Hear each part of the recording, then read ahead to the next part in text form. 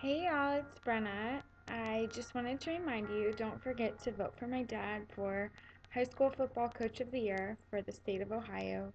I'm going to put the link below, but you can vote every single day now until the end of the month. And this year he actually coached at a very hard high school. Um, they're very troubled in Cleveland.